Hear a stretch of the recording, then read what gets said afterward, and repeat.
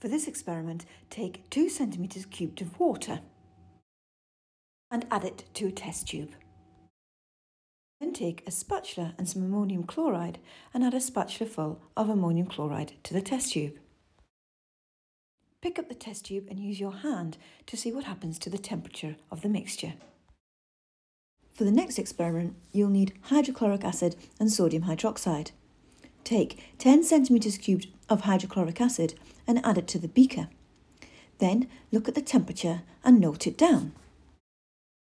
Add another 10 centimetres cubed this time of sodium hydroxide to the beaker. See what happens to the temperature using the thermometer. For the third experiment, take 2 centimetres cubed of water, add it to a test tube. Then find the ammonium nitrate.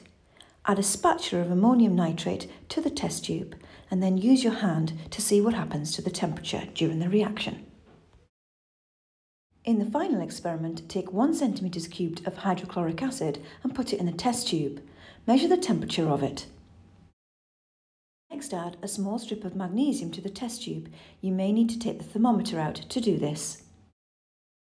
Use the thermometer to see what happens to the temperature of the reaction during the experiment.